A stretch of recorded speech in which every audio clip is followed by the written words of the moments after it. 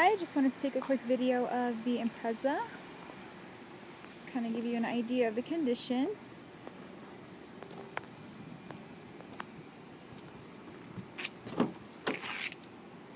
Interior.